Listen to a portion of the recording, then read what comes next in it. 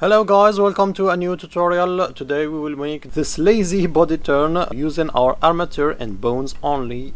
No interpolation, no drawing. But before we start I want to show you my new head turn, my new addition to our uh, human grease pencil rig that we worked on during a, a series. So we had uh, good legs and uh, good bendy bones and a powerful mouth rig. And now it will come with a simple uh, head turn. So stay tuned for the tutorial to have at last the ultimate grease pencil rig that you can uh, reuse on any character and that doesn't use any lattices. So let's start with our tutorial. We have this uh, simple birdie bird with its simple rig. This is a rigify rig. You can see its structure here if you go, let's go to pose mode.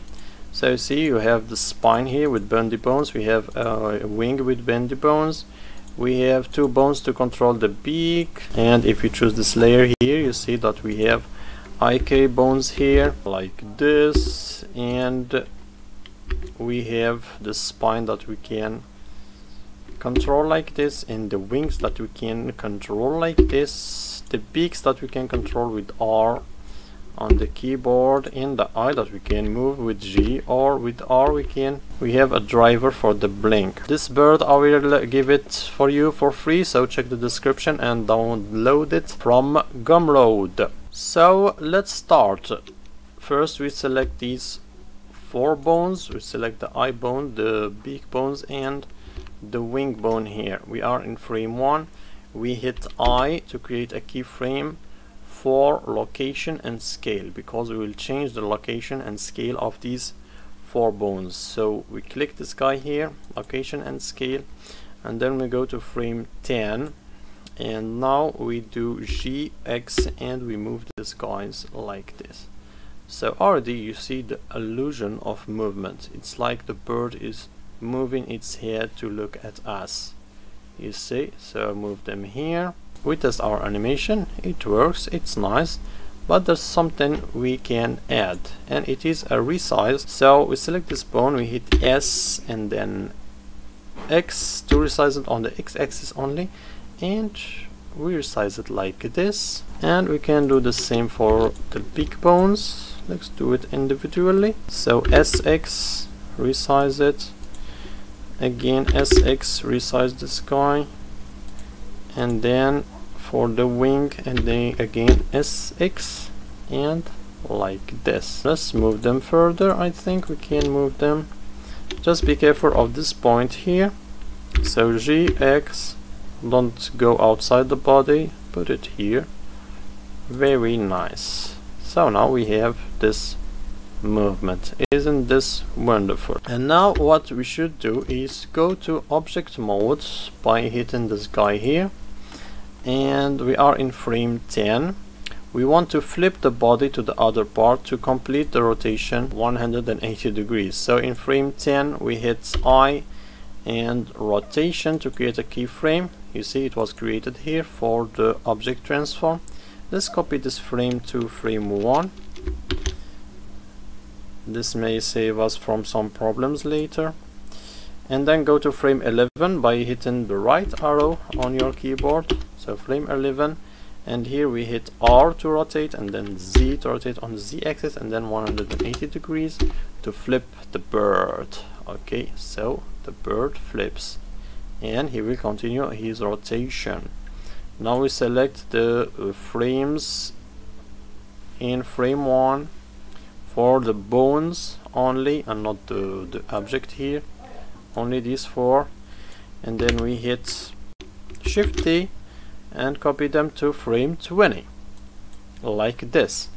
Now we change this from 220 to 20 to play our loop and see how it goes so we have our first 180 degrees rotation. Here we have this harsh turn here but as I said in the beginning this is a lazy tutorial and a quick animation. As you can see it took us very little time to make this 180 degrees rotation. The problem with Blender and rigging in Blender is that we don't have the equivalent of shape keys in Grease Pencil or in Moho what is called smart bones. It's like interpolation in draw mode that you can control with bones. So for example we have the head here and this hair here. We can animate it to make this animation here smooth and then control it with the bone. So in Moho you can do that. You can draw shape and then in another frame you change that shape and in between there is an interpolation and that interpolation you can control with a bone. I hope something can be done about that. Anyways, let's finish our animation. What we want to add is a second wing that shows here when the bird turns to look at us. We want to duplicate our rig here. We click on the bird here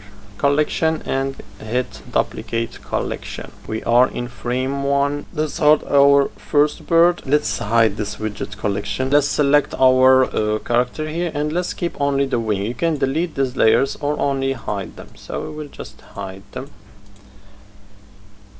I couldn't hide the eye because there's a driver controlling the blink. So to be able to hide it just delete the driver and then hide the eye. Let's unhide the, our first bird. Let's go let's hit 7 on the keyboard. Select our rig here and put the wing behind the bird. So G Y and move it like this. Nice. And now test this animation. You see that it's coming back to get merged with the bird. So let's expand here the object transform and look for the location location Y. And I think I will just delete this keyframe here.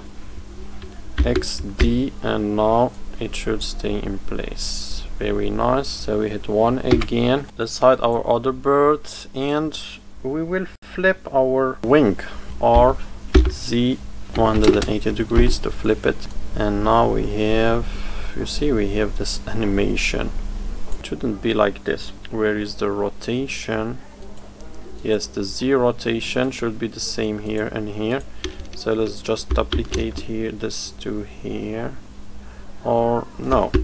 I think we'll just flip places of this and this. So like this and then like this. And I think we will need the yes nice. Now let's unhide our first bird and let's go to frame 10 and then hit G X and move our wing here. So now we have this animation. And then we go here and again GX and make the wing show here. Like this and then like this and then we wanted to go behind and it went by itself without the need of our intervention. So now if we play the loop again, set 0, we have a decent 180 degrees rotation. What we want to do now is to complete it to go 360. So again to the bird collection and we duplicate our collection. Let's hide this, co this collection of widgets again let's our bird. Let's select our second rig here. Let's hide this one too. I think I'm gonna move these guys to frame 21 no we go first to pose mode and then select everything.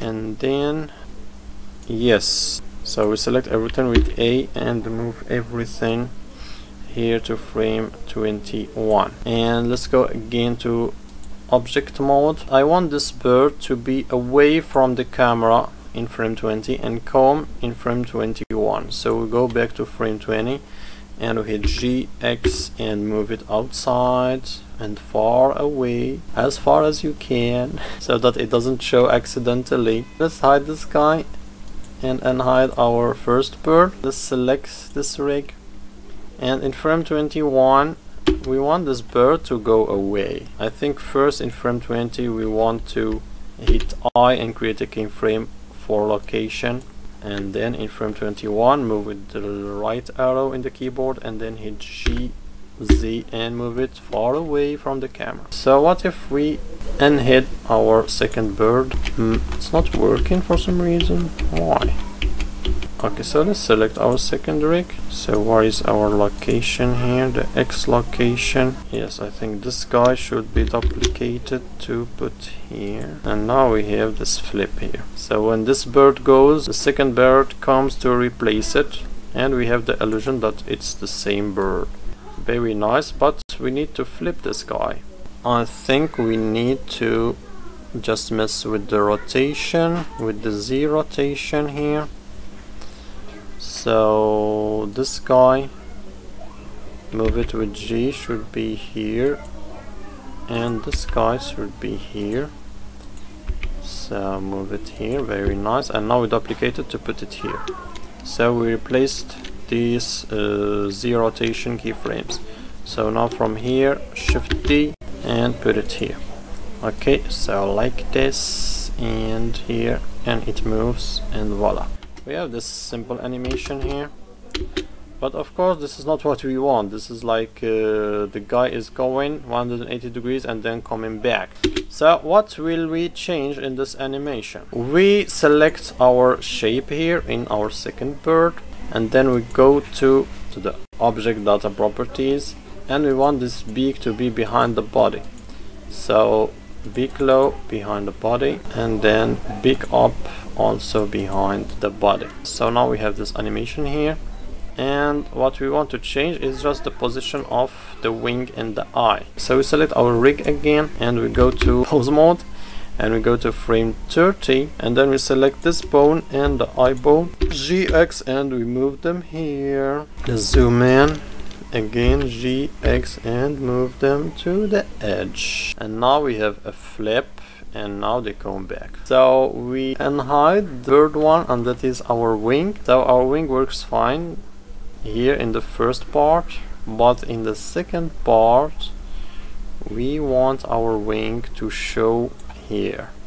We go to object mode. So here is the rig of our wing. The wing is here hidden behind let's hit I and rotation in frame 20 and then we go to frame 21 and then hit R to rotate Z 180 degrees go to frame 30 and move the sky with G X to here. And then we go to frame 20, 31 and we flip the wing again so RZ again 180 degrees and then we move it with GX to here. So here our wing comes and then here and then it should disappear here. So to frame 40 and again GX and hide it behind. So now we have this loop there's just one thing I forgot to do. In the second rig here you see this animation when it goes from the first bird to the second bird and this uh, beak got gets hidden. We want a little animation here for the eye and the wing just a little one. So let's select our rig here and in frame 21 be careful because in frame 20 this is not bird 2 this is the first bird. So in frame 21 you select our rig it is selected here.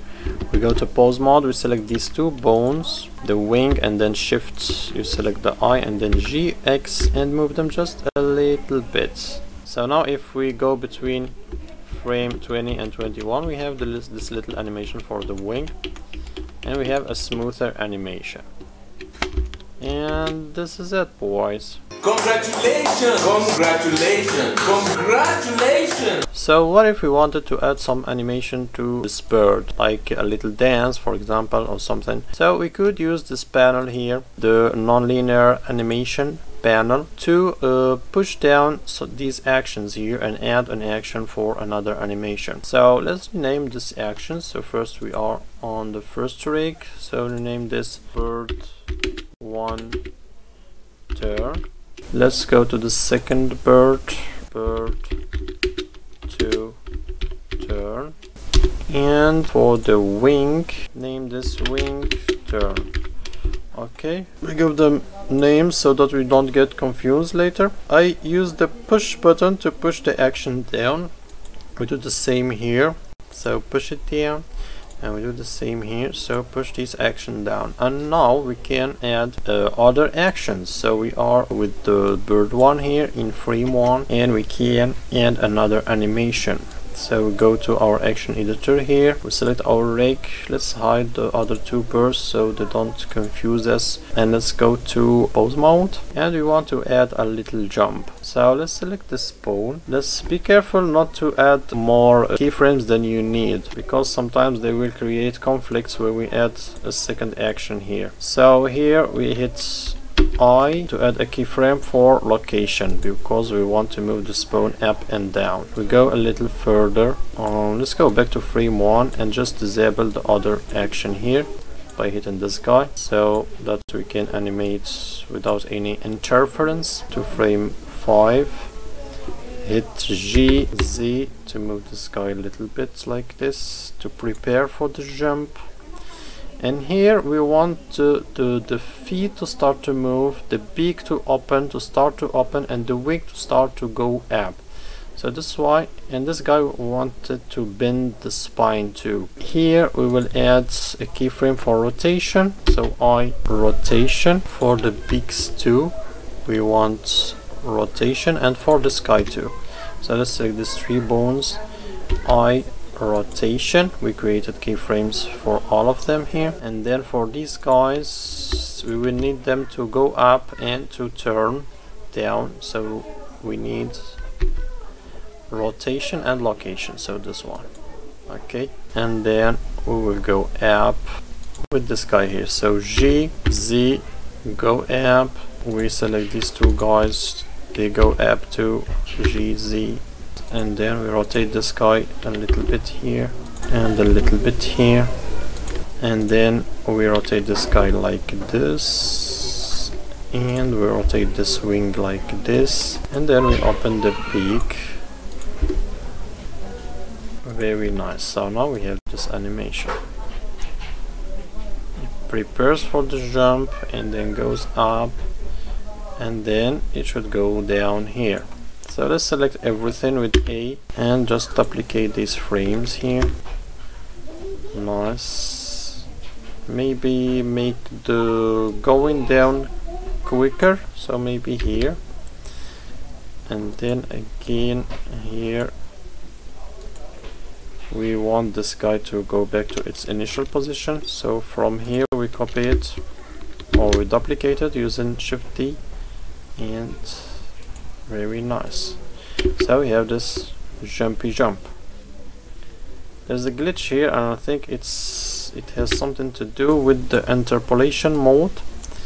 So for the feet I guess let's just change it for everything. The interpolation mode from I think it is Bezier by default so we change it to linear. Let's test it again. Yes it works fine. Very nice. So this is our new action and uh, this action we will name it bird jump. Okay enter. And now we can push it down. And we can activate the other action and test it here. So what happens is that you can see that the eye moves but the wing and the beak don't move. And that is caused by a conflict between keyframes here. Let's select this action here and hit tab in the keyboard so that we can see our keyframes here and select one of the beak bones and then expand it here and go to location.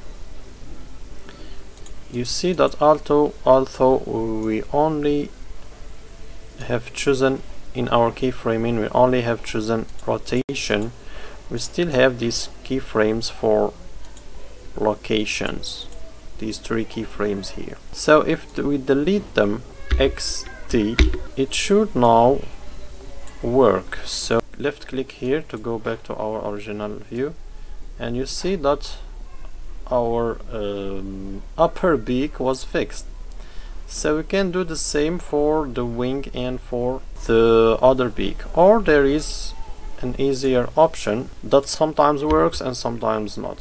So let's hit Control Z Control Z again. Okay we restart our frames. Left click to go back. And now we select our collection and we hit N and we change this the blend in from replace to combine. And now we test it and it works fine. Very very nice. So this combine feature here sometimes works fine sometimes it doesn't work. So when it doesn't work you need to go here and to go to the dope sheet in the action blender and check for the keyframes that you need don't need like the location keyframes here and delete them so that there is no conflict between your two actions and now let's go back to uh, object mode and let's side our first bird and go to the second bird. Select our rig here go to frame 1 and add the action we created and that is the bird jump here. And then we push it down and then we change blend into combine. And we do the same let's hide it again and hide the wing. Select our rig and again add our bird jump push it down. Select it alone. Be careful not to select them both. And then change the blending again to combine. And now we can unhide all our birds. And we can check our animation. So here we have a nice little jump combined with a full 360 degrees animation. Body turn so guys thank you for watching. Uh, the birdie bird is for download for free. If you want to donate of course you can donate. Well before downloading the file you can give me a tip for this file or you can get it for free. Any donation of course is appreciated. To support the channel and support uh, future videos thanks for watching guys and see you in a next video. Peace